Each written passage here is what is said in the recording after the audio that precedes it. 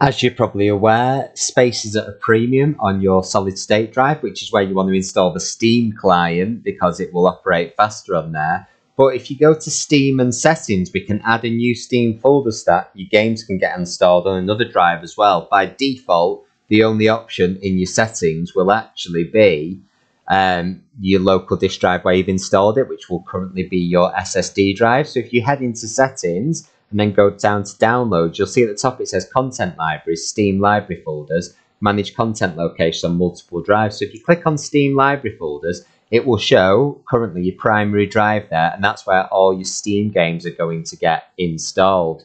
Now, by adding another library, it doesn't prevent you from installing some games there. So if there's a game where you think you're suffering particularly with performance, might not being on the SSD, by all means you can put it on there.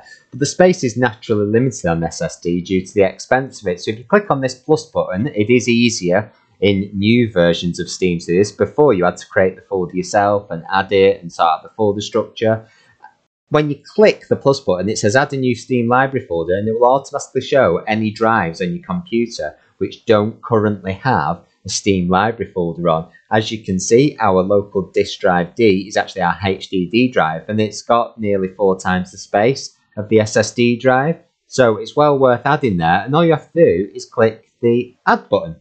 And then HDD, you've got a Steam library that is on D. And what you can do is that you can then click on settings next to it and click make default which will put a star next to it so you know your hard disk drive is your default for any new installs on Steam. That doesn't mean you can't select the C drive when you install a game, but what it does mean is it will default to this one, freeing up space on your SSD for your programs and still giving you a fantastic gaming experience. And that's it. You can keep on adding more Steam file uh, folders if you have more drives available. And if we click onto browse folder, what you will see is it has actually created a new folder on the hard disk drive in exactly the same folder structure as is located where your Steam client is. So Steam Library, Steam App. So it's very easy to do. It all manages itself. You don't even have to create the folders in the latest version of Steam. So it's well worth doing.